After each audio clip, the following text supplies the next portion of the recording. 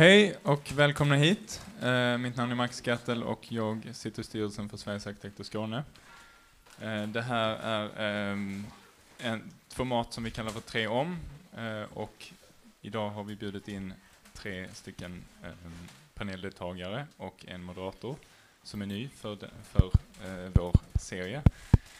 Och ehm, det här blir den första i en, en serie av Tre om samtal som vi eh, centrerar kring arkitektrollen och eh, lite grann inspirerad av den utställning som eh, pågår där nere, åtminstone en veck dryg vecka till, som jag tycker ni ska gå och se om ni inte har gjort det, i egen regi, heter den. Och eh, vi tar avstamp lite grann i det om eh, vad händer när arkitekter tar större, av, eh, större ansvar för byggprocessen. Och eh, då lämnar jag över till vår moderator Chris eh, Jonsson Jones som ska leda samtalet. Tack så mycket Max. Förlåt, för jag, jag glömde, jag tappade bort mitt vattenglas. Ska jag... jag fixar det. Jag vill också på, eh, säga att vi har ett samtal igen den första december eh, och då på temat kunskapsutveckling och utbildning. Ja. Och till, till Magnus också. Ja, micken. Han gick iväg med din mick. Hej, eh, Chris Jonsson Jones heter jag alltså. Eh, vi kan börja också med att presentera våra deltagare. Magnus Sköld, granitor, Helena Nyholm, Sesam Arkitekter och Magnus Månsson från Semén Månsson och Månsson Fastigheter. Ja. Och jag tänkte bara säga något kort om var jag kommer ifrån till att börja med. jag är verksamhetschef på Arvidssonstiftelsen som är en privat stiftelse som arbetar med hållbar stadsutveckling, framförallt med fokus på kopplingen mellan eh, folkhälsa och hur vi bygger våra städer. Eh, tack så mycket. Ska Magnus ha den? Ja. Mm.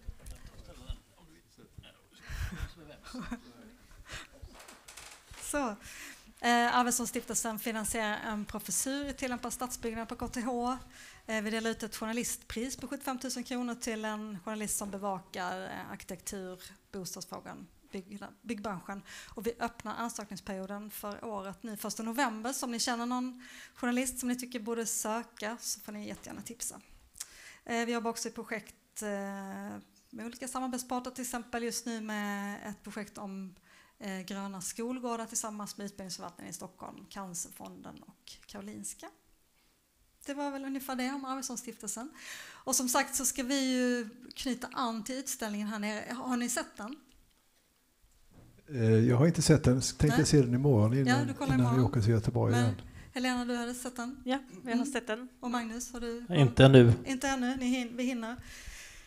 Um, men vi kan också konstatera att både Magnus och Helena är ju arkitekter. Men jag är lite nyfiken på, Magnus Sköld, vad har du för bakgrund. Granito kommer du från också. Ja, precis. Och jag tror de flesta känner kanske till namnet ja. Midrock eh, ja. mer. För det har vi hetat fram till eh, nyåret då vi bytte namn till Granitor eftersom vi bytte lite ägare på toppen. Lite skiftning där, det var en generationsväxling som skedde. vi eh, jobbar ju ganska brett, alltifrån att vara så att säga, markutvecklare, alltså hitta råmark eller, eller fastigheter med utvecklingspotential, eh, driva detaljplaner, Eh, med hjälp av arkitekter förstås. Eh, och sen att genomföra projekt som projektutvecklande bolag eller fastighetsutvecklande bolag och sen eh, har vi även entreprenadsida och fortsatt förvaltning då, förvaltar färdigutvecklade fastigheter. Mm. Så jag själv har, jag har varit med i hela den svängen så att säga. Och mm. vi firar faktiskt 25 år och jag tänkte passa på under ditt häfte där här var, här så har vi en liten bok om vårt 25-årsjubileum mm. här, eller våra 25, första 25 år. Så att jag har några exemplar där borta om ni vill titta i det så det kan mm. passa på. Och räcker mm. de inte till får ni säga till så jag skickar det. Mm. Och vi ska prata om arkitektens roll och ansvar. Eh, och, eh, vad, vad, säger ni, om, om vi börjar där med liksom rollfördelningen som den ser ut idag mellan arkitekt, fastighetsutvecklare, byggherre. Vad, är, är den bra? Vad tycker du, Magnus Månsson? Alltså, det är klart att den inte är bra, men det, det behöver inte vara dåligt för det. okay. Eh, och det handlar väldigt mycket om hur man ser på den framtida arkitektrollen. För vår del och för min del så har det varit en resa som på, påbörjades för 15-20 år sedan när vi började bygga egen regi. Och det gjorde vi egentligen för, av två skäl, vilket blir svaret på min fråga. Eh, det ena är att försöka att utbilda oss själva. Att lära oss en betydligt bredare, en betydligt bredare repertoar av kunskap. Eh, och, det andra är att erövra marknadens förtroende. För det spelar ingen roll om man, om man kan allting om inte marknaden litar på en. Och man kan inte komma och säga att man kan någonting som man inte riktigt känner till. Jag brukar säga det, man kan inte gnälla sig till kompisar utan man måste liksom vara kunnig, kompetent och, och erövra marknadens förtroende om man vill att rollen ska ändras. Mm. Och, och vad jag har förstått och hört av andra så är det ju det att ni har ju fått utökat förtroende genom att visa. Ja, alltså det hände något magiskt när vi hade slutfört vårt första projekt 2013, eh, Danska vägen i Göteborg, 68 hyresrätter. Jag blev uppringd av till och med gamla kunder som bad mig komma ner och räkna lite åt dem. Okay. Och jag fick ja. fråga, ska vi inte göra både en affärsplan och en situationsplan samtidigt? Ja, så det, så det finns saker att tjäna på det. Vad, vad, vad säger du Helena? Vad, vad är liksom för och nackdelar med den rollfördelning som vi har? Ja, det beror ju lite på vem man, men man eh, har som partner så att säga. Om man har en, eh, om man har en stark partner att arbeta med så ser jag stora, stora fördelar i att eh, äga sin, sin egen sfär så att säga och kitta samman de sfärerna Eh, har vi en eh, riktigt stark eh, arkitektbyrå tillsammans med en eh, otroligt stark byggherre och utvecklare så, eh, så är det ju, ett, tycker jag, ett strålande koncept också om man kan hitta varandra i det. Mm. Eh, så det är ju utifrån vilka konstellationer man sätter ihop, absolut. Mm. Magnus, vad skulle du säga? Ja, men jag håller med om det sista där. Jag tycker vi har ganska, eller väldigt engagerade samarbeten ihop med arkitekterna där vi har hittat rollerna väl, tycker jag. Eh, och eh, vi släpper in arkitekterna väldigt djupt i våra projekt eh, och deltar från väldigt tidiga idéer ända in i kaklet oftast då. Eh, ibland kan vi väl tycka att arkitekterna kanske inte bevakar sin roll i eh, en, ända ut så att säga, genom att ibland handlas upp andra arkitekter i skede två om man säger så. Men i allt väsentligt tycker jag det fungerar väldigt, väldigt bra och man är otroligt professionell på sina roller. Mm. Med risken om man säger att man eh, kliver in i varandras roller att eh, det kanske spär ut en del då, att man inte riktigt har, har den tiden och, och det engagemanget i, i det man eh, är bäst på. Men, Men om vi sitter här och, och, vill, och vill förändra arkitektens roll, vad, vad, är det vi vill, vad är det som borde vara annorlunda? Ja, alltså jag tror inte man behöver förändra så mycket, man måste bara öka intresset för att förstå kundens affär. Alltså om man inte är intresserad av den så kommer man aldrig förstå uppgiftens innersta mening. Eh, och det, det, där kan man inte bara göra en, en, en, dag till en annan utan man måste förstå hur de ekonomiska mekanismerna ser ut. Och då talar jag väldigt sällan om byggkostnader utan jag talar om fastighetsekonomi. För det är fastighetsekonomin som skapar värdena, som skapar utrymmet och som skapar rörelseöppningarna för oss som arkitekter att göra någonting riktigt bra. Och det gör man alltid ihop med en kompetent byggherre. Alltid. Alltså det finns inga, finns inga genvägar i det heller. Mm. Och om man, om man har vokabulären om, om eh, de ekonomiska vokabulären, då kan man ju ta sig fram så mycket snabbare med en kompetent byggherre än vad man gör annars. Då blir det mest ett slagsmål hela vägen om att man inte förstår varandra och man vill, vill massa saker som den andra inte fattar. Och det, arkitekten är bara en slösaktig typ. Ja. Alltså det, det, är det som är den traditionella rollen och den gillar vi inte såklart. Mm. känner du igen det Helena? Ja absolut. Eh, det är ju att ha det här vokabuläret och ha kunskapen om kundens affär. Eh, men också från arkitekternas sida ha en stark hållning. Att ha en stark värdegrund som man står på eh, och, och välja sina uppdrag, välja sina samarbetspartners. Så att vi kan stå tillsammans hela vägen i det. Och det kräver också att man säger nej till vissa uppdrag. Mm. Vi ska prata lite mer konkret också om hur man ska kunna jobba. Om vi börjar med dig då, Magnus Månsson, som för du och Samuel Månsson och Månsson Fastigheter ligger ju då i så fall närmst det vi ser här nere då från i egen regi. Och du ska berätta lite om ett projekt från Varberg. Just det. Mm. Det är det senaste som vi har färdigställt. Eh, vi har byggt alltså regelbundet sedan 2011. Eh, och det här blev inflyttat i mars, sista, sista etappuppgången i 2022.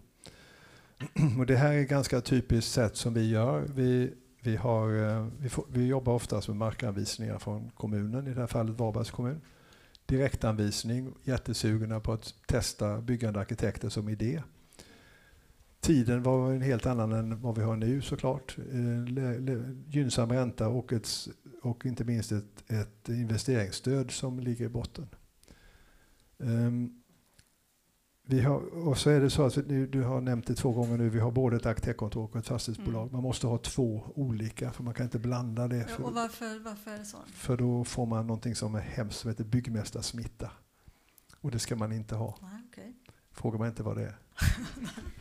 jo, det, då kan du inte lyfta momsen i arkitekturfirman. Ja, jag, vet, jag vet, men det, det är sån där, nästan en pandemi, pandemi, pandeminivå på en byggmästarsmitta. Ja. Men den, kom, den kommer man runt så här i alla fall? Det gör man om man delar på verksamheten i två, mm. olika, mm. två olika ben.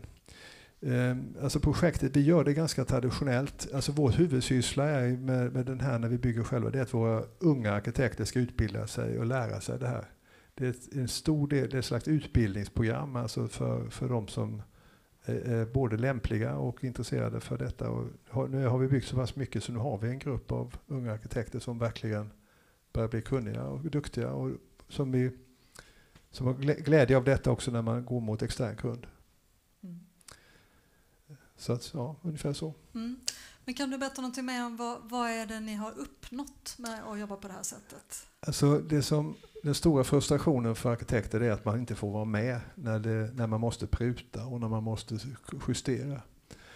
Och det här projektet och de projekt vi gör, då ritar vi väldigt noga fram till det vi kallar för systemhandling. Jag tror de flesta vet vad det är. Och så frågar vi på eh, marknaden på systemhandling och så får vi tillbaka ett pris som vi kallar för det indikativa priset. Sen sätter vi oss ner med entreprenören och inte skrivit avtalet utan vi håller dem lite utanför det och sen kör vi tillsammans med dem i 6-7 veckor. Startar bygghandlingsprojekteringen få med oss hela fördelen och kunskapen som byggherre eller byggentreprenören har. Och de varierar eftersom vissa bolag, de vi byggde med här till exempel, hade jättemycket snickare anställda. Då var det lättare att få mycket platsbyggt. Andra köper ihop sina entreprenader, då kan man inte få ut det. Sen låser vi priset och sen tillåter vi inga ettor. Mm, okay. för, då vet de, för då vet de vad det handlar om. Slutrundan kan jag säga, då var den här entreprenören så pass trygg i systemet för att de jobbar bara med appriser, kvadratmeterpriser och vi jobbar med skruv och mutter. Då hade vi mötts i, i den upphandlingen. Så att de var så safea så att de slängde in 950 000 i, i, i sänkning på sista, sista förhandlingen. Nu vet vi vad vi ska bygga, det brukar vi inte veta. Och det är det som inte är bra med branschen. Från det indikativa priset till det vi skrev på gick vi ner 9,5 procent. Mm. Utan att göra dagtinga med teknik eller arkitektur. Mm. Jag, vill bara jag är själv journalist då, så jag känner att det, blir, det tappar mig lite. Men om jag försöker hänga med här. Ja, det, är det, men det är bra. Är det, är det förhandlingen som ni är bra på också? Nej, liksom vi, vi, vi, har identifierat själva branschproblemet är att som jag sa, så byggentreprenören jobbar med appriser, kvadratmeterpriser, schabloniserade kalkyler. Och vi ritar ju så som det ska skruvas i muttrar och skruvar och, och detaljering. Vi har en, liksom olika, olika kalkylnivåer kan man säga. Mm. Men när vi får sitta i skarpt läge 6-7 veckor och, och kalibrera detta. Det är då de blir lugna och fina och, och sänker sin oro och tar bort sina reserver och vi får en produkt som inte behöver ändras så förbaskat mycket på slutet. Mm. Fast, vill ni kommentera på det här? Helena till exempel, vad säger du om det Magnus pratar Ja, men det är en intressant eh, väg att gå. Det är ett mellansteg kan man säga som ligger mellan då det som är systemhandlingen och när ni vad jag förstår sen färdigprojekterade. Där ni har en tid där, där man eh, samarbetar Eh, och det är, en, det är, ett intressant sätt att se på det, för det, det, är ju eh, en problematik i branschen idag att vi byter, både byter arkitekter mellan skedena. Det är som en eh, advokat släpper, eh, går ifrån liksom när det är dags för rättegång. Va? Mm. Eh, men, men i det här skedet så kan man ju få med sig då entreprenören eh, på ett annat sätt där de inte både har eh, livrem och hängsle och, och kan mötas någonstans på vägen. Mm. Mm. När vi pratade innan Magnus, innan det här samtalet så pratade du om det att du tyckte att arkitekterna var lite dåliga på att förhandla för att komma till, till den här situationen. Ja, du tänker i, komma med i skede två? Ja, ja precis. Absolut, men ja, men det, det mm. förvånar mig många gånger att man inte liksom, eh, när man går in och, och, tar ett eh, arkitektuppdrag att man inte förvissar sig om att man ska få rita ända in i kaklet så att säga. Utan men, eh, jag tycker också man är ganska dålig på det. Man lämnar något, något pris som bara gäller fas 1, det första, indikativ, eller första skedet. Och med det så, så har man liksom nästan släppt eh, möjligheterna att ja, eh, få rita resten. Eh, då blir det mer att möjligtvis får man göra det. Så att hade man varit lite duktigare i det där första skedet och eh, jag ritar inte om jag inte får rita allt så hade man nog lättare kunnat komma fram. Men då får man vara beredd kanske också lämna ett pris som kan gälla i, i alla skeden då. Mm. Men det, alltså det, med, det förvånar med mig lite. lämna ett fast pris då? Som... Ja, eller ja, på något vis. I, det finns olika sätt att lägga upp priset men att man har en prisbild som kan gälla i, i eh, även detaljprojekteringen. Det låter ju jätteenkelt när du säger det. Jag tycker det. det, det landar väl i en entreprenadjuridisk termer, tänker jag. Om det blir en totalentreprenad och totalentreprenören handla upp alla andra konsulter så man är lite sugen på att samla konsultgruppen.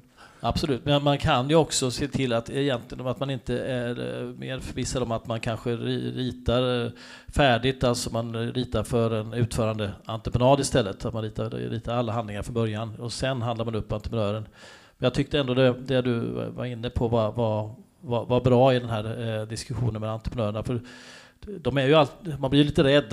Eh, det finns någon form av systemhandlingar som inte ritar detaljerna och då ska, ska en entreprenör räkna på det här projektet. Och då blir man lite nervös när inte detaljerna finns med. Får man då chansen att sitta med arkitekten och kanske enas om osäkerheterna och, och kanske kan stryka undan de oförutsedda posterna. Så, så det, det, tycker jag var, det är en bra idé. Så om man känner sig osäker, då lägger man på lite och då blir det för dyrt? Ja, det måste du göra. Som en entreprenör det lämnar inte oftast till arkitekten utan lämnar till en beställare först som har mm.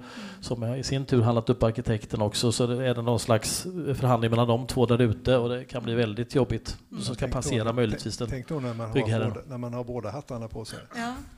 Det, ja, men, det, blir det jättelätt då? Eller blir det, nej, det, nej? det här är inte en lätt bransch. För mm. liksom. Eh, men alltså jag, tror man, jag vill ge ett sedelärande exempel. Eh, den här byggfirman är en lokal byggare, Pettersson och Hansson, omsätter 600-700 miljoner. Så bankerna är happy att de är tillräckligt stora så de kan ta entreprenaden. De har 54 snickare anställda. Och vi fick den här väldigt konstiga frågan. Är det okej okay om vi platsgjuter trapporna istället för att köpa dem prefab? Det, det är 10 dagar av tio det är ju mycket bättre lösning. De prutade 360 eller 370 000 på trapporna. Vilket gjorde att vi kunde ta tillbaka naturstenen in på trapp, trappplanen så vi hade fått pruta bort lite annat läge. Alltså det där give and take situationen är det som är det, det, det där vi kan göra mest nytta, både om vi själva har båda hattarna eller om man sitter med någon, någon annan som har, som har den andra rollen så att säga. Det kan jag säga lite allmänt att det är alltid billigare alltid billigare att, att bygga platsbyggt än prefab. Eh, nästan alltid, om man inte bygger samma produkt hela tiden. För det du, ska du bygga prefab får du först bygga det på ett ställe, sen frakta det hit och bygga det igen. Eller lyfta in det. Så det, det jag vet när man har jobbat som kalkylator, vilket jag har gjort i många år, så hundra av hundra gånger blir det billigare att, att bygga platsbyggt. Eh, möjligen har Strängbetong gjort trappan någon gång innan också, det kan ju vara så. ja, men, nej, men, eh, både trappor men hela huset egentligen också. Men det tar längre tid. Mm. Jag tänkte vi skulle låta Helena prata lite nu också om ett projekt och säga någonting också om Sesam Arkitekter. Vi hoppar över det lite. Vad, säg, berätta om Sesam Arkitekter. Mm. Eh, ja, vi är ju inte som ni två stora drakar i branschen utan vi är ju 16 personer som sitter i Kristianstad och Stockholm. Eh, och har, eh, jobbar mycket mot offentlig verksamhet. Eh, ungefär hälften av vår omsättning handlar om offentlig verksamhet. Eh, och resten är då mot privata fastighetsägare. Eh, det som vi starkt eh, jobbar med och står för det är ju en superstark värdegrund som vi baserar allting på. Också vilka kunder vi plockar in och vilka typer av uppdrag som vi tar. Um, och som lite mindre kontor så är det mycket som eh, bygger på relationer. Uh, där vi har en, en, kompetens som vi kan komma med, den arena vi kan komma med och sen eh, knyter vi an till uh, musklerna. Liksom. Så vi har ju ett antal byggherrar som vi synkar otroligt bra med och går med hela vägen. Och just det här som du säger, att som arkitekt ta det hela vägen, det är ju det, är ju det som vi i förhandlingarna med våra kunder så, eh, gärna tar. Eh, så att man vet att det inte försvinner där vid rättegången. Liksom. Mm. Eh, Men då har ni bevisat det då i projektet att ni Ja, eh, och gärna om man då kan koppla till, jag tänker du pratar om, om er byggare, att ha en stark relation till någon som kanske inte enbart är ute efter eh, att göra affären så alltså vinstdrivande som möjligt, utan man har lite andra eh, agenda också. Eh, där kan vi se att, att eh, kunden i slutändan kan, kan vinna på att vi från början är ett starkt team som drar det hela vägen in i kaklet. Mm. Eh, jag kan ta ett exempel här bak. Nu är detta ett litet projekt i förhållande till både mycket vi gör och mycket som ni gör. Eh, men det här är en typiskt eh, ett projekt där, där vi har gått hand i hand med entreprenören. Och där vi kan utforma, vi behöver inte hitta ihjäl oss, vi kan ha nära dialoger, entreprenören vet vad vi som arkitekter är ute efter, kunden är helt inne på, på vilken linje vi ska gå. Eh, och det gör ju också att våra kostnader mot kunden inte heller blir så eh, höga, utan vi kan få väldigt snabbt, eh, de, de, får det de, de vill ha, vad vi vill ha Eh, genom dialog. Liksom. Eh, så det här är ett, ett hus som, som är väldigt nära kontakt med entreprenören där vi står ute på plats mycket och där han ringer dagligen liksom, när det är någonting. Mm. Eh, så för att återkomma till det här med vad har, är, det, är det bra som det ser ut idag? Ja, delvis vill jag också säga att det är det. Så länge vi ställer kraven på våra samarbetspartners att eh, för, för projektets bästa så är det att köra liksom hela vägen tillsammans och, mm. och lita på varandras kunskaper. Eh, och för att komma dit här så är det också det här att skaffa sig kunskap. Eh, du pratade om det tidigare Magnus, att eh, vi, vi jobbar ju mycket med att få upp andra kompetenser på kontoret som kan göra dummies för oss. Liksom. Hur, berätta, berätta vad vi behöver veta för att ni ska känna att vi förstår er. Eh, vad kan det handla om för kunskaper? Vi har, ju, vi har ju ett helt gäng runt omkring oss i alla projekt vi jobbar med som, eh, som ska finnas för att ett hus ska fungera. Det är allt från dagsljus, akustik till ventilation och el. Och låt dem komma upp på kontoret och prata med oss arkitekter så att vi inte sitter där och pratar olika språk. Eh, för, det, för det är ju det här att lyckas tala samma språk eh, som, som jag lite kan se eh, i, i branschen har varit ett problem. Eh, där arkitekten ofta får bära lite hundhuvudet för att vi bara är besvärliga. Liksom. Eh, besvärliga och dyra. Besvärliga och dyra eh, och där kan man väl se, vi kan ta nästa projekt som är så här, vad, vad är liksom vår arkitekters styrka? Och det är ju det här att vi har, vi har en split vision, vi är bra på att samla mycket information och få det i en riktning och ta det framåt. Eh, och vi är kreativa, vi kan se eh, Får vi en input från en beställare så kan vi ju vända den inputen till något ännu bättre än vad de hade tänkt sig. Och det är väl det som är vår styrka och det som vi på något sätt ska leverera på.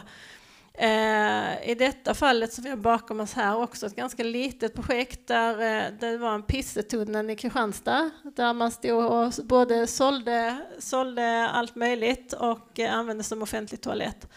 Eh, där beställaren kom in så kan vi måla den vit och fräsch och sätta upp kameror för det är det enda som hjälper. Eh, och eh, kameror är vi eh, helt emot. Vi tror inte på, eh, på eh, vägen att gå med kameror. Eh, så i detta fallet så gjorde vi en tunnel som eh, eh, det, det, det, var ett, ett, på kontoret ett arbetsnamn som vi inte får säga annars, men, det, men man skulle uppleva det här istället för att handla det man behövde handla. Liksom. Eh, och, och, i detta fallet så är det ljus och ljud och eh, mycket eh, kraft. Liksom. Och det blev, den blev nominerad sen till marknadsföringspriset i Kristianstad, eller i Nordostskåne. Eh, så det blev en typ av arkitektur då som också fick ett marknadsföringsvärde. Och det är ju sånt vi ska tillföra våra kunder. Liksom. Eh, och såklart att vi ska ha eh, allt, allt vi kommer här gick igenom därför att vi också höll en budget som vi visste. Eh, och det är väl det som arkitekter också behöver. Så vad är det för budget? Mm. Alltså förlåt, Nej, men alltså det låter lite som att det borde alltid vara så som du beskriver, att man håller budget och att man har eh, en bra relation. Men vad är er erfarenhet? Är det, brukar det vara krångel där? Ja, det, det, det varierar väldigt mycket. Men jag tror du, jag tror du touchar i den, en av de kärnfrågorna i det här sammanhanget att det finns en frustration bland arkitekter att man inte får vara med tillräckligt mycket. Jag tror det finns också en bild av att och det är så också att den starkaste egenskapen man har som arkitekt, och det är vi inte ensamma om, men som kår, som grupp, så är det det holistiska perspektivet.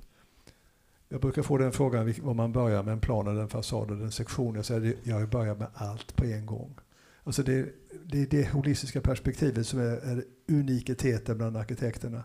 Och när man tycker sig ha det och inte får vara med överallt, det är då som frustrationen kommer. Men om man inte har det ekonomiska eller det eh, juridiska eller det affärsmässiga perspektivet så är man inte holistiker. Nej. Då är man halv eller trekvarts. Liksom. Mm. Och det, jag tror vi måste ta det till oss, för om vi inte lär oss det och vi ska inte bli affärskunniga på det sättet att vi ska bli, ta över KPMG eller något sånt här. Utan ni vet själva, ni som är praktiserande, att man kan lite grann om statik, man kan lite grann om installationer och lite grann om det, nästan allting. Och det, vi ska kunna lite grann om det hela.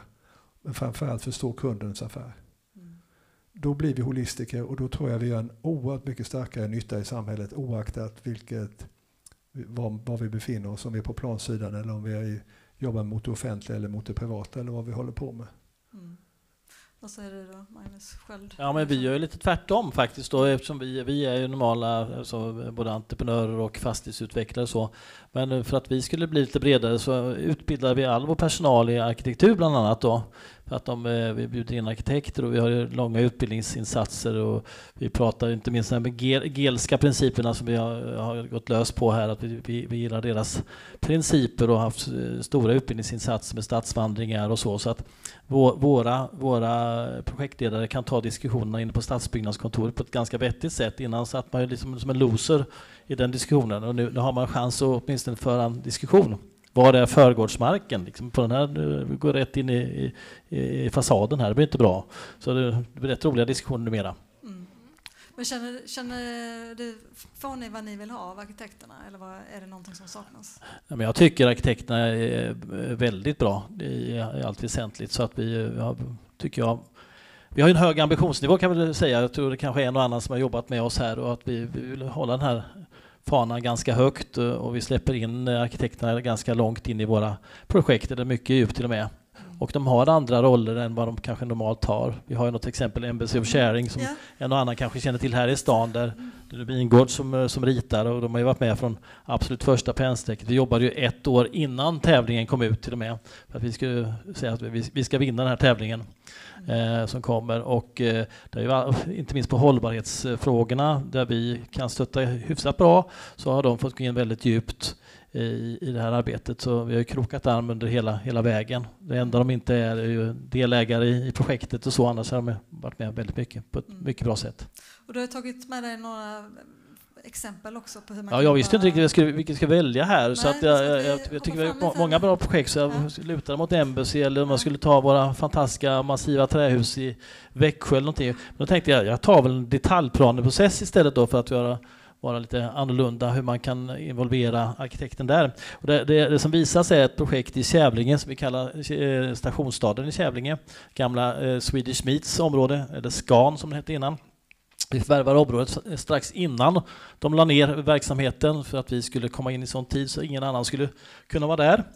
Eh, och vad skulle man göra på den här platsen? För det första var vi lite förundrade att inte kommunen använde sin kommunala förköpslag, vilket som fortfarande fanns kvar vid det tillfället.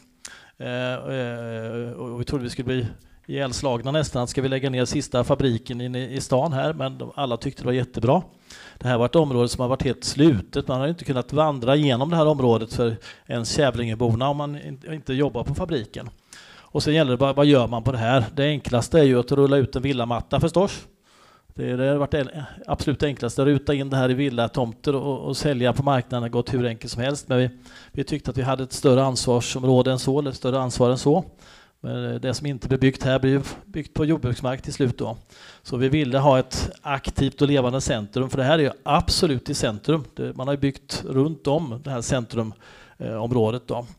Eh, så att vi tänkte att vi vill ha en väldigt bred förankring i, befolkningen i Kävlinge. Så därför vill vi ha en stor involvering. Och vi tog hjälp av GL Architects eh, då även här. Vi gillar skarpt dem. Eh, och eh, vi vill använda deras principer. Man utgår liksom hur skapar vi folklivet först och hur skapar vi platserna efter det och sen i sista hand börjar vi titta på husen. Och sen hur gör man det här då? Och då bjuder man ju in väldigt, väldigt brett för att få den här breda förankringen. Vi bjuder in befolkningen i stan, vi bjuder in länsarkitekten och Region Skånes arkitekt, Trafikverket, vi bjuder in grannarna. Eh, vi bjuder in då också ett antal arkitektfirmor som vi tvingade samarbeta på ett eh, väldigt udda sätt då, att man jobbar korsvis. Det var ett antal arkitekter från varje firma. Eh, så vi sa ni får inte jobba ihop, utan ni får jobba korsvis. Och sen blandar vi in då eh, politiker, alltså allt från kommunstyrelsens ordförande till oppositionen också. Eh, på tjänstemannasidan, allt från stadsbyggnadskontoret till mark och exploateringskontoret. Eh, och så att sätta de här i mixade grupper och sen jobba strukturerat efter de här principerna i olika workshop-historier eh, då. Mycket studieresor och annat för att eh, driva fram det här projektet. Väldigt involverat då i de här grupperna. Och sen eh, jobbar vi lite otraditionellt också, så jag tror om man tittar på nästa bild, mm. kanske ligger med där, så var det bara sådana här sektioner. Ingenjörsmässigt vill man ju rita en sektion så den ser likadan ut på varsin sida av, av vägen här. Men vi, vi, bor ju i Sverige, då tycker man vad, vad, vill vi ha? Vi vill ha sol förstås och vi vill inte ha så mycket vind. Så att om man, eh, där solen faller in, man bygger lite lägre hus på den sidan och sen på, på andra sidan i, i kvarteret så bygger man höga hus så att vi får mycket sol på den sidan.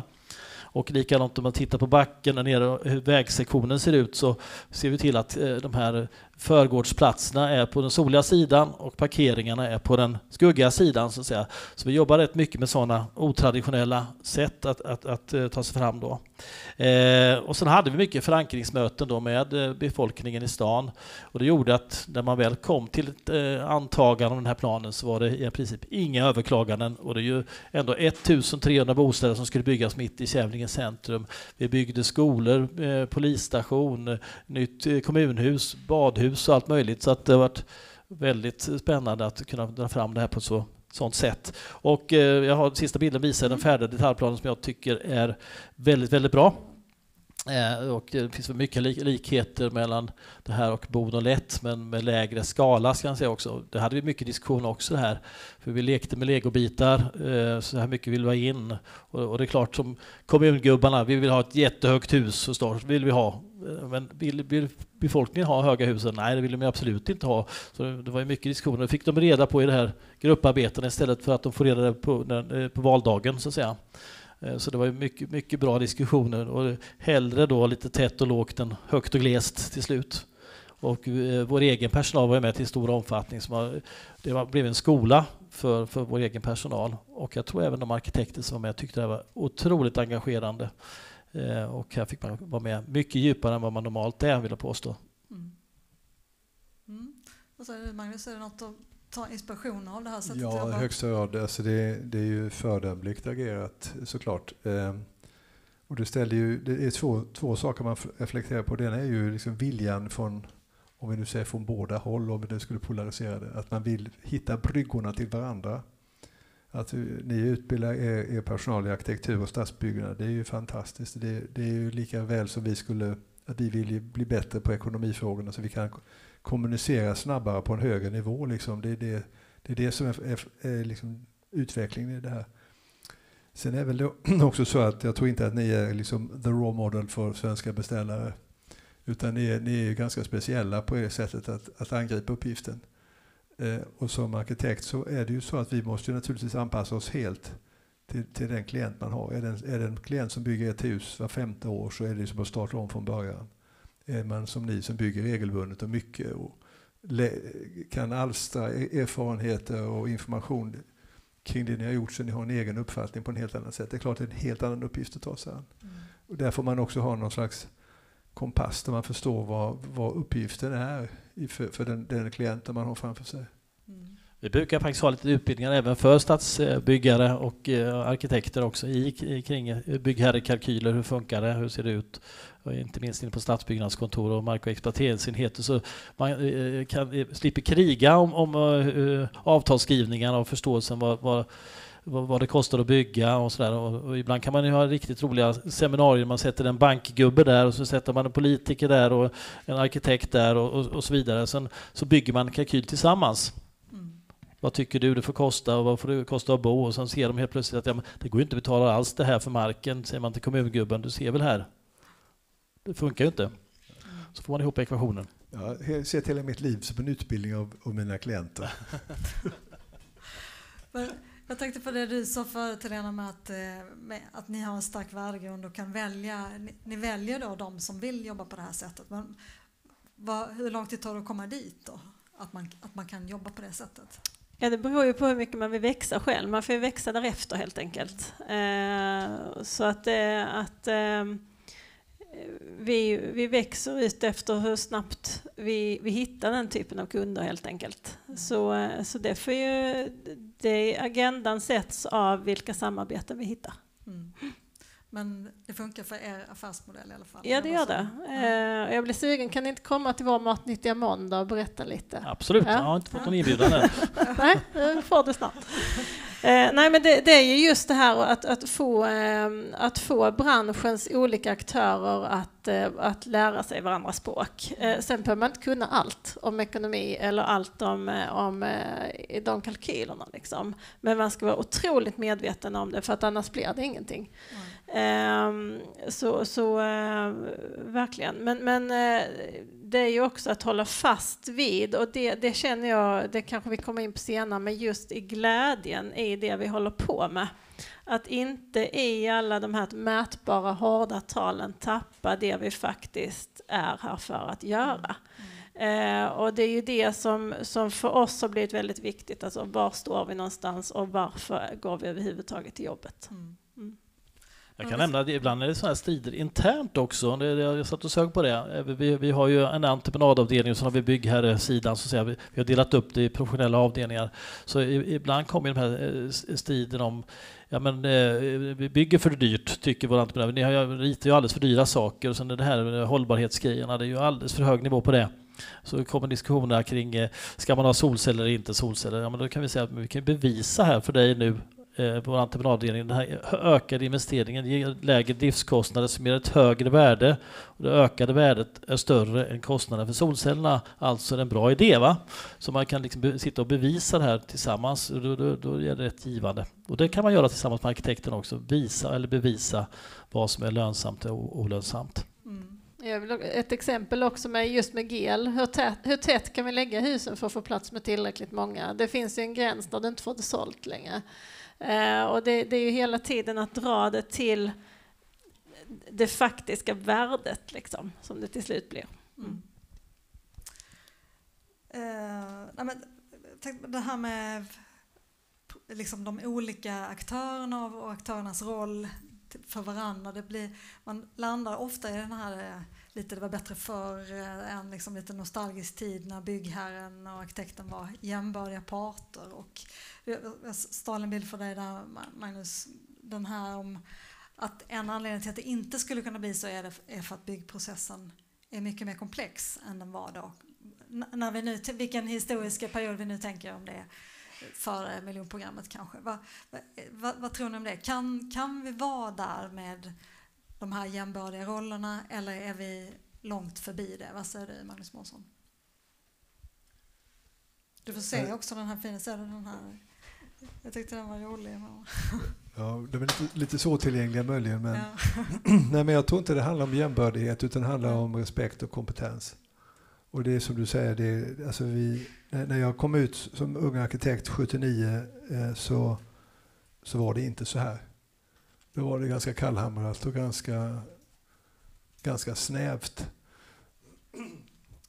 Och den resan som jag har vittnat i över 40 år nu, den, den går ju hela tiden till det bättre.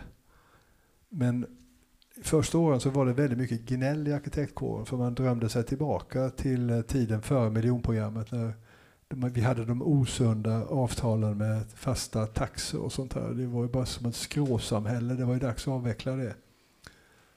Och det kan, lärdomen som därifrån att vi själva på något sätt har rest oss upp som arkitekter och tagit oss in eh, tycker jag vi ska vara ganska nöjda och stolta med. För det är både värdegrundsfrågor och det är kompetensfrågor.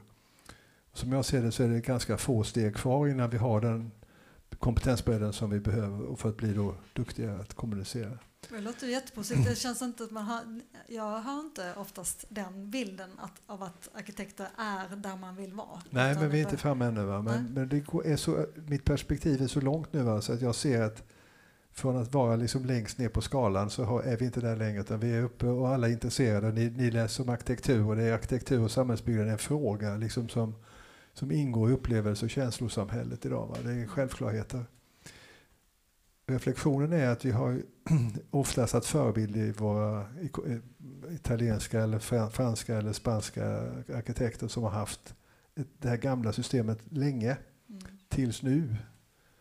Och de, de går, genomgår samma hemska resa som vi gjorde på 60-talet när man liksom faller från den där skrå tryggheten till någon slags ny verklighet. Så de har, de har sin resa kvar. Vi har gjort den, gjort den på 40 år. Mm, okay. Håller du med om den? Ja, jag vill nog också säga mm. att tänk en positiv utveckling istället. För jag kom, jag kom själv tillbaka till Sverige 2006, eh, jobbat och utbildat mig i Danmark och upplevde att eh, alltså arkitektkåren i Sverige var som en enda stor, det var en enda stor offer, eh, man var sånt offer Eh, det var så synd om arkitekterna som inte fick sån plats. Eh, och då är det väl bara att ta den platsen istället och ta ansvaret för det du gör och ta ansvaret för att stå där som arkitekt och allt vad det innebär. Eh, det är liksom ingen annans fel. Eh, och det är ju det som vi arkitekter eh, får se till att göra. Jag tycker absolut att det har blivit mycket, mycket, mycket bättre sedan jag kom hit, eh, då för 20 år sedan. Eh, eh, så jag vill hålla med om att vi är på rätt väg eh, och jag tror på att ansvarstagandet och samarbetet som, som är styrkan framåt i det. Mm. Mm. Men om man tänker då ännu ett steg då som, som är ni ett exempel på, att man tar med det finansiella risken också. Hur, hur långt bort är det skulle ni säga? Att det, för de exempel vi har här på utställningen handlar om små projekt. Ni har lite större att man skalat upp det lite men hur ska man våga och kunna det? Vad tror, vad tror ni? Vem vill hugga på den? Jag hugger gärna på den. Mm. Eh, det är ju, det är ju ett, en väg att gå. Eh, jag tänker i det breda arkitektledet så kanske det inte är just den vägen att gå. Eh, så ska vi få med oss hela arkitektledet så är det ju också att, att se på var är den lågt hängande frukten. Liksom. Eh, det är kunskap, eh, alltid kunskap eh, och hållning till var man står någonstans. Eh, och ansvarstagande. Eh, att inte stå och gömma sig mot att det är någon annan som ska göra jobbet. Liksom. Eh, sen eh, så är det väl mer att jag, jag har, eh, tycker ju att det är lite eh, för mycket teknik-Sverige fortfarande. Eh, också skolad från en annan tradition där eh, arkitektskolan ligger under den konstnärliga eh, skolan där man har arkitekten som en pol och, och har tekniken som en pol och, och sen, där arkitektrollen ligger under det konstnärliga. Och det bygger, jobbar och hittar kittet mellan teknik och eh, konsten. Liksom. Nu vill jag inte heller säga att arkitektur är konst utan det är snarare en, en hållning till hur man pratar om världen, om hur man pratar om att det är människorna vi håller på med, det är människan vi jobbar för. För idag i, i Sverige så är det mycket mätbara, hårda värden som vi arbetar med. Mm. Och det kommer in mer och mer hårda värden. Det är allt från, eh, även om det ska vara leda till något gott så är det allt från akustik och ljus och eh, pratar vi företag så är det omsättningen som hela tiden ska öka och vinsten och så. Mm. Eh, vad gör det med alla de mjuka värdena som försvinner? Mm. Jag hade förmånen att tillsammans med Staffan Karanholm och en fem, sex andra arkitekter starta föreningen Byggande Arkitekter för rätt många år sedan nu. Jag var ordförande de första fem.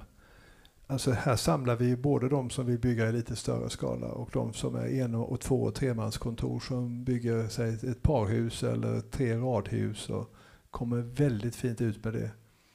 Och det, det uppmanar ni som är intresserade av det här, ta kontakt med oss så, ska, så kan ni komma in i den gemenskapen och få tillgång till mycket erfarenhet och kunskap som eh, ligger där. Och det, alla har samma mål med detta, öppenhet, transparens, lära ut, ta in, och, ta in nya, ny kunskap och se till att vi, blir, liksom, att vi går åt rätt håll när det gäller yrkesrollen.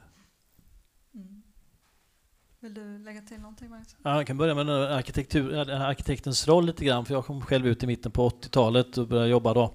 Och eh, då var ju arkitekterna ganska tilltufsad eh, grupp människor nästan kan man säga. Och det, eh, de projekten man, man själv var med och genomförde är väl inte det man är mest stolt över heller. Kan jag säga den arkitekturen som tilläts på något sätt då, det var ju ofta riktigt dåligt jämfört med det som byggs idag, tycker man.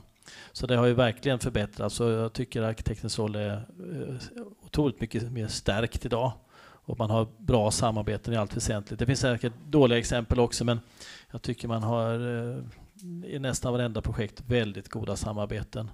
Eh, sen kan man ju behöva fightas lite ibland om, om pengarna då, då, kring vad, vad man har råd att bygga in. Mm. Så. Eh, vad var det, nästa fråga då? Det var, Nej, men det var, det var ju om, om man vill se fler eh, arkitekter som ja. byggherrar, var, var finns eh, liksom utmaningarna då? Vilka är det största? Jag tänker att ja, men, det är väl de ja, finansiella? Jo, men så är, så är det och, och kanske att man eh, för det första ska börja lite mindre skala som ni var inne på, så man inte hoppar på 30, 40, 50 bostäder. Det kräver mycket eget kapital också nu är det ännu mer i dagens marknad. Så ska man bygga 30-40 lägenheter kanske det Eh, 150 miljoner eh, som eh, det kostar att bygga och du ska kanske in med 40 procent eget kapital.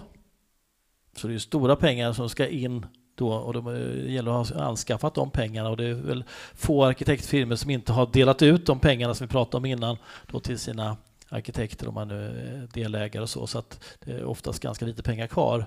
Så då tycker jag kan vara ett bättre exempel kanske att börja med ett JV, att man säger att har ni hittat en bra fastighet, kom till oss då. Så att vi har hittat det här läget, vi tycker vi ska bygga där eh, och spanat rätt på det här kåken eller läget. Och vi, men vi vill vara med i resan som mm. finns i joint venture. Finns det många sådana exempel? Nej, det finns inte många, men det förvånar mig att det inte finns fler.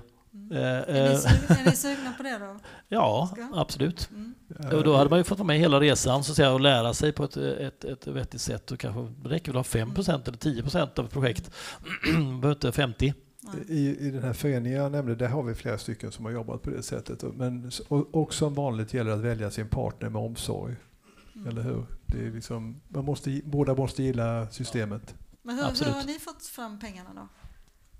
Ja, det är väl blå ögon och bra fotarbete kanske. Ja, okay. Nej, men eh, vi, vi byggde, vi, jag, jag gjorde precis tvärtom då. Vi byggde 68 lägenheter på Danska vägen som ett debutverk. 125 miljoner. Men, du, eh, du hade dem på banken? Ja, jag har sålt jultidningar. ja. Nej, men det, det, var andra tider då såklart. Det var låga räntor och eh, det gick att låna upp rätt så bra. Och så eh, var på den tiden ensam ägare till bolaget så vi, och vi genererade bra med, med överskott och jag hade inte så mycket konsumtionsbehov själv. Nej. Så att det gick rätt in Inga Ferrari-bilar och sånt? Nej, det har jag hållit mig ifrån. Det. Mm. Men sen är det ju frågan, vi ser ju det, självklart är det en bra balans, eh, förbättrade balansräkningen i bolaget på ett kolossalt mycket bättre sätt än en konsultfirma någonsin kan göra. Men vi ser det som en utbildningssystem. Om ni tittar i vår, på hemsidan för Månsson Fastigheter så står det där, det är vår, vår huvudsakliga uppgift är att förändra arkitektrollen. Det är därför vi gör det. det är därför som vi, jag tyckte det var legitimt att lägga in rätt mycket pengar för att komma igång med det här. Och vi, vi har nu rätt många år bakom oss och det fungerar väldigt väl. Mm.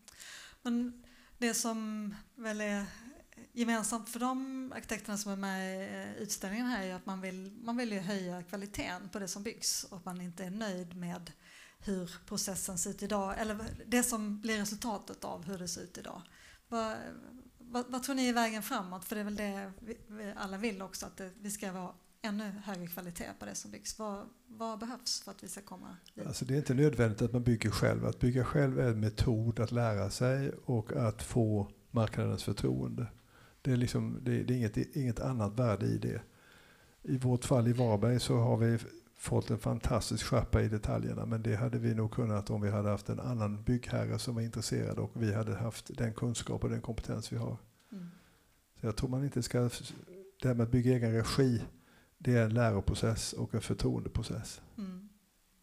Magnus själv, vad tror du? Hur, hur höjer vi kvaliteten? Jag, jag, jag ibland förvånas jag också att det byggs så mycket skit där ute faktiskt också. Att det ser för jäkligt ut och, och så. Eh, och, och det, ibland känner man, eh, hur kunde det här släppas igenom på bygglovsavdelningen på något sätt? Ja, det var planenligt. Men att då kanske man ska stärka eh, bygglovssidans roll på något sätt så att de kan hålla exploatörerna lite mer i örat. Det, det förvånar mig liksom att eh, det, det, finns ju, alla har inte samma ambitionsnivå när de ska bygga utan det är billigt och fort och sådär.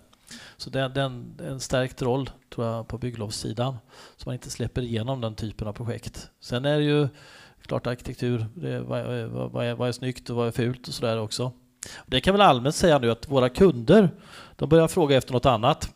För de är lite trötta på det, som, även om det är, vi vinner stadsbyggnadspris hit och regionens pris här och där. Och vi tycker att ja, vi är stolta över. Så säger kunderna, ja, det där läser man på internet. Liksom. Det är det fulaste jag sett. Och det är, nu, bara tråkiga fasader och tråkiga platta tak och så här.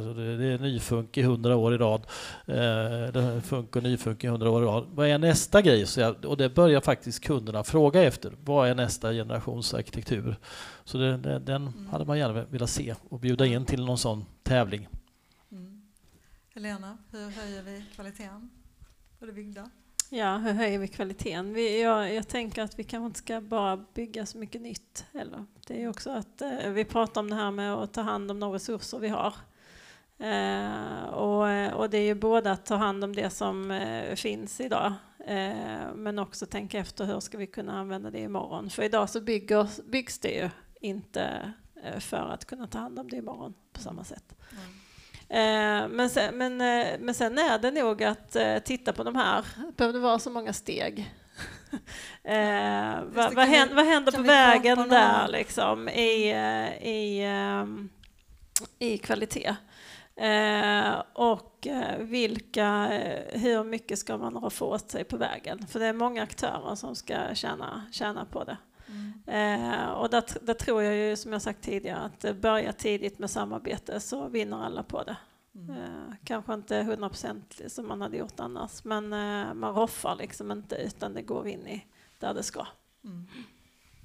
Jag tänkte innan vi sammanfattar lite, kolla om det är någon i publiken som vill kommentera eller fråga lite svårt att se här, man viftar lite. Så, ja, där har vi en fråga. Har vi en, mick eller ska vi, pass, ska vi låna? Du kan skrika, ja.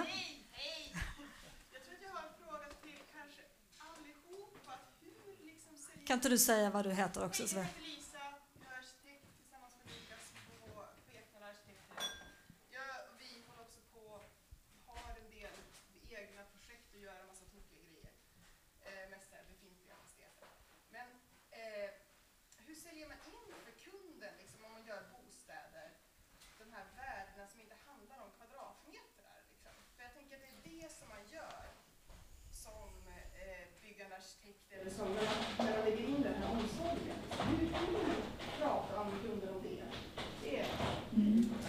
Säljer man in de värdena till kunden? Ja, först och främst är det otroligt tydlig värdegrund som man kan presentera. Eh, när kunder kommer upp på kontoret så är det det jag lägger fram, att det, det, det är det här du köper när du går in genom den här dörren.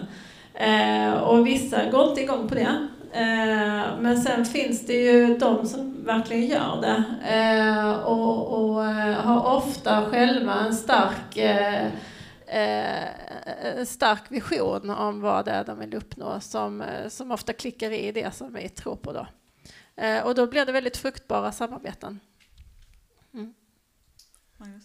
Alltså det, bostaden är ju, i Sverige har vi två sorter i princip. Vi har ju bostadsrätter och vi har hyresrätter. Bostadsrätten har ju haft en ganska stark utveckling fram till nu. Nu är det närmast djupfryst så att säga. Men och i bostadsrätten har man väl kopplat ihop värden med någon slags ekonomi. På, på det sättet kan man säga att god arkitektur är lönsam på något sätt. Men det är den enkla vägen. Talar man om bostäder generellt så, så tror jag nog mer på exemplets makt. Och om man bygger i egen regi så har man ju all chans i världen att göra det man vill och drömmer om och man får också ta ställning till om man har råd med det.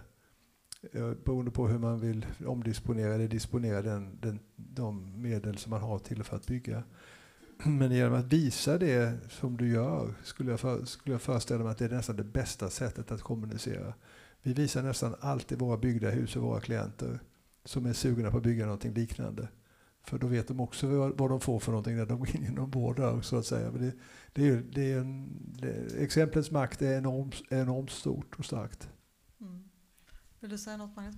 Nej, men jag tror att vi är ganska lyhörda för uh, goda idéer så att, att presenterar man då lägger fram det på Eh, visade referenser eller vad det är så kan man göra underverk vill jag påstå. Och tar man sådana exempel som vi byggde nu Embassy of Sharing, jag tar det igen här då, så eh, skulle vi satsa väldigt hårt på social hållbarhet. Eh, ja, det kostar ju bara pengar liksom. Det, det är ju bara pengar ut, pengar ut, pengar ut.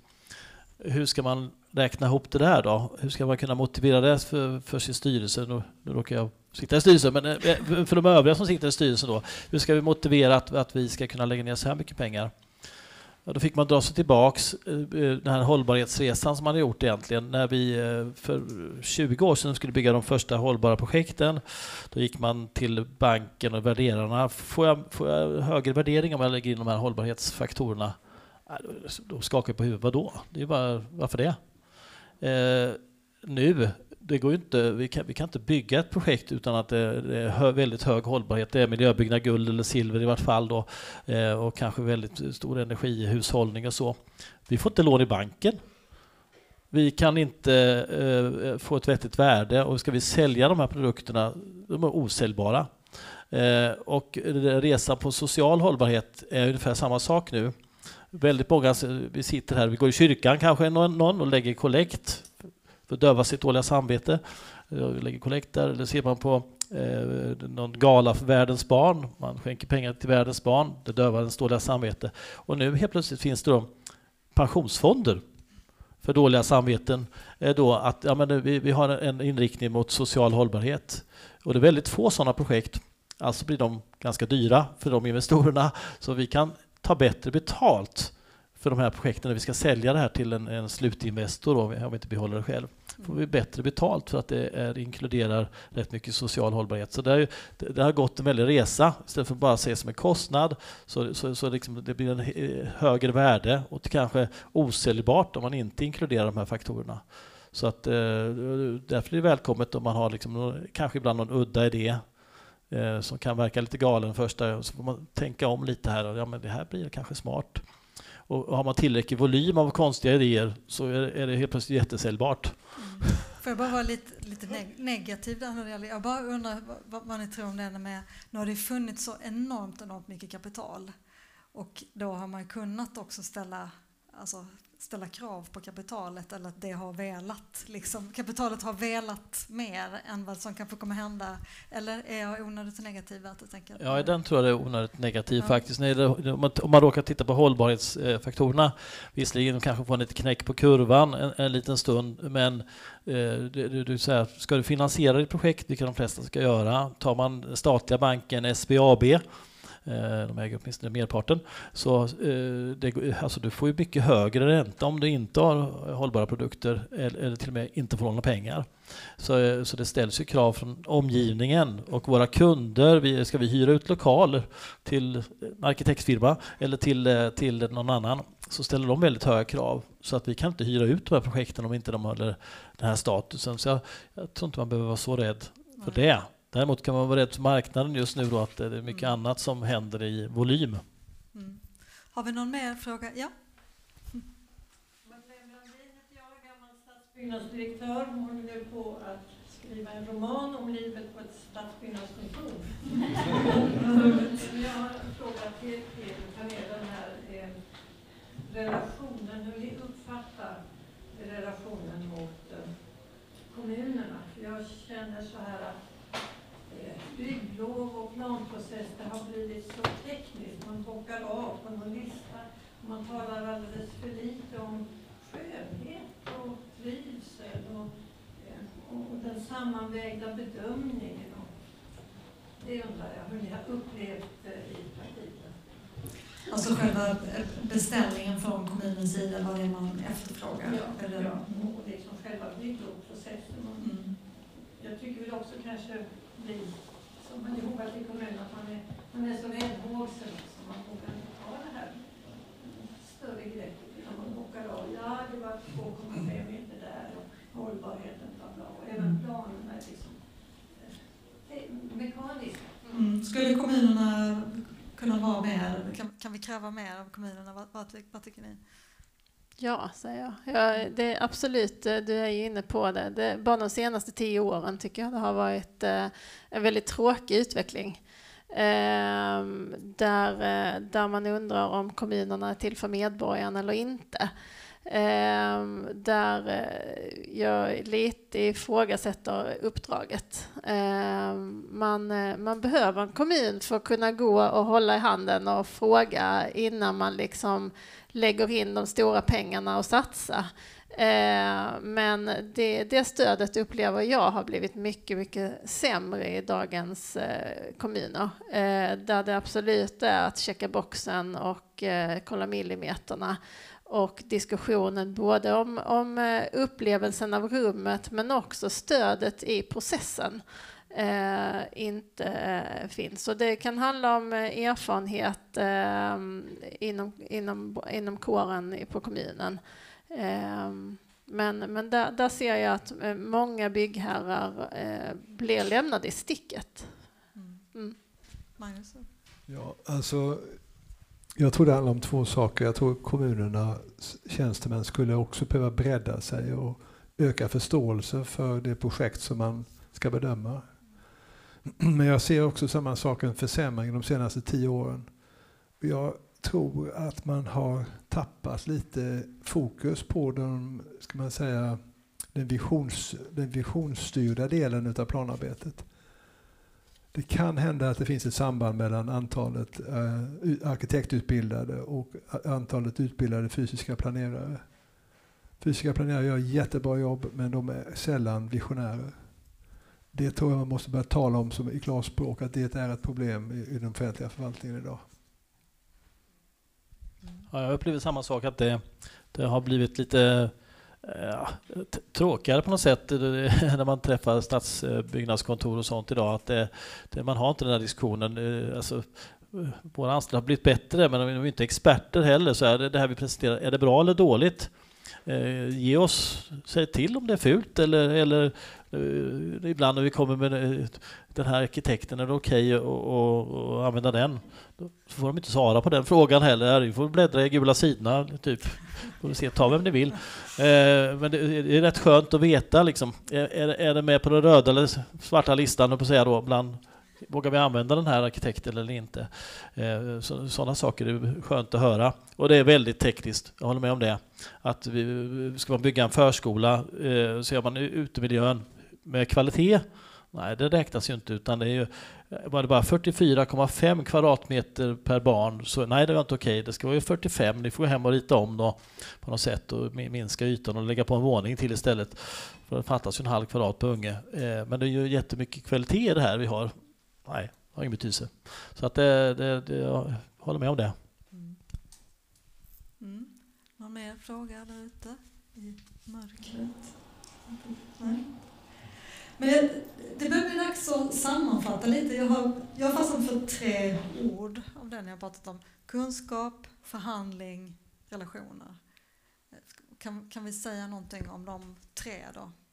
Eh, för jag tänker, om jag börjar med kunskapsdelen. Är det, för det låter ju lite som när ni har pratat här som att det är någonting ni har gjort internt i era verksamheter. Alltså ni har skaffat er den kunskapen själva, stämmer det? Ja, del, delvis. Vi försöker ju bredda det på nationell plan genom föreningen Byggande Arkitekter där vi som sagt en 30-tal företag och individer som har ett tätt utbyte med öppna böcker så att säga. Mm. Så att, och det tror jag är enda chansen att man delar med sig, att man har en generositet med kunskap och att man fokuserar på det som ett bransch, en branschmässig fråga. Att vi måste bli bättre på de där mm. frågorna om att förstå kundens affärer och egentligen syftet med varför vi ska göra våra insatser överhuvudtaget. Det behöver inte vara pengar, det kan vara logistik eller operationer per kvadratmeter eller vad det kan vara för någonting vi ska mäta. Men är det någonting som branschen borde fånga upp? Är det någonting som Sveriges arkitekter skulle bli bättre på? Att, eh, liksom, är det, finns, finns, finns den typen av eh, vidareutbildning inom kåren tillgänglig eller är det något man skaffar själv eller delar med varandra? Vad, vad säger du Helena? Jo, men Sveriges arkitekter har ju, har ju också de möjligheterna eh, och har blivit duktiga på det. Eh, jag ser ju mycket, alltså när man jobbar internt med eh, spetskunskap så att säga som vi behöver på vårt kontor är väldigt givande. Eh, och koppla in dem vi samarbetar med är också väldigt givande. Och sen så såklart generositeten mellan, eh, mellan grupper. Eh, sen så ligger det hos den enskilda arkitekten, alltså vetgirigheten hos den enskilda individen. Att, eh, att se marknaden, att läsa marknaden, att, eh, att eh, ha glädje i att lära sig mer. Eh, som, som också styrker hela kollektivet. Mm. Magnus, om du får säga någonting om förhandling då, hur ska arkitekterna bli bättre få bättre förhandlingsposition? Eller vad, vad behöver adderas på den sidan? Ja, jag tyckte du glömde ett nyckelord, det är tillsammans. Vi har använt yeah. den devisen här, together, together. Eh, alltså yeah. att bara jobba tillsammans och bjuda in varandra, eh, det tror jag är rätt mm. viktigt. Och att man eh, inte sitter på varsin kammare. Och det är ju, det är ju olika eh, grupper kanske, med arkitekter och, och byggherrar, men det kan ju vara mm. många andra som bjuds in i en sån här på stadsbyggnadssidan kanske också och eh, politiker och tjänstemän och alla möjliga. Det är, det är bra att jobba tillsammans så man skapar förståelse. Mm. Eh, och det var lite det relationsbygget då, att det är, ehm, är det liksom att det är fler aktörer som ska vara med i det relationsbygget eller hur, vad kan man tänka sig? Det var för konstigt fråga. Nej, nej, nej, det, detta är ju ett konkurrensläge. Alltså den som är duktig ska ju belönas. Ja. Mm. Är, det, är, man en duktig byggherre och tar stort ansvar så klart man ska ha framgång på det. Och då, mm. då, då flyttar inte hyresgästerna. Då har man låga omflyttningstal och då, mm. då, då rateas husen bättre. Och miljön blir mycket bättre och, och det är roligare att bo i, i husen. Liksom. Så att det, ska, det måste löna sig i någon mening att vara, vara duktig och framåtlutad i den här branschen. Och det har det inte alltid gjort. Men det gör det mer och mer och det är väl det som är hoppet i det här. Mm. Och när det gäller relationer så vill jag tillägga långsiktiga relationer. Alltså möjligheten att utvärdera det man gjort för att kunna bli bättre hela tiden. Eh, och, och, där kan eh, vi nog alla, eh, både privat och i vår, i vår uh, yrkesroll, alltså utvärdering, vi, vilken kraft det finns i utvärderingen. Mm. Uh, både i, i flera olika led under processens väg. Mm. För det har jag ändå uppfattat lite att om man så att säga försvinner i, för tidigt i processen så kanske man inte heller är så intresserad av utvärderingen. Ligger det någonting i det? Vad, vad säger ni? Ja, det, är, det är lätt att skylla ifrån sig i alla fall. Ja. Nej, men att bevaka sina intressen där som arkitekt tror jag är viktigt att man inte släpper det för tidigt utan vill man vara med och se slutprodukten och kunna mm. tycka att det är något man är stolt då, över då ska man se till att man är med hela vägen. Men om man får någonting därifrån er då om förhandling, förhandlingsläget, mm. om det då, för, för det är väl en förhandlingsfråga att se till att man är där. Om, handlar det om pengar eller vad, vad handlar det om eh, den förhandlingspositionen att se till. Ni, ni, har varit duktiga på det då Helena. Vad, vad är nyckeln, förhandlingsnyckeln? Ja, men det, det, det, är ju både om man tittar privat och offentligt, eh, och den offentliga sektorn har ju LOI att hantera också, eh, som man kan ju tycka vad man vill om och den, eh, den är ju mycket en totalentreprenadsgegga liksom. Eh, men, men, där är det ju att jobba hela vägen till utförandeentreprenaderna eh, så man är med hela vägen och också då för, såklart få ta ansvar. Men det kräver ju en byggherre med lite muskler som har en projektledning i sin organisation alternativet att vi arkitekter tar den rollen då. Eh, så ehm, det, det, är väl att, att, lägga förutsättningarna på bordet innan man sätter igång helt enkelt. Och, och, förklara också för kunden vilken vinning man kan få genom att ha en långsiktig relation. Mm. Eh, vi har ju kunder där vi hela tiden utvärderar efter eh, första projektet så att vi kan bli bättre till nästa. Och det, det blir ju liksom ett, ett givande eh, för kunden då. Mm, något slags gemensamt lärande låter det som också. Alltså jag, säga, jag har lärt mig jättemycket ikväll. Jag hoppas att det är någon mer som har gjort det. Och jag säger tack så jättemycket till Magnus själv från Granitor, Lena Nyholm, CSM Arkitekter, Magnus Månsson, Semira Månsson. Tack, tack så mycket. Tack.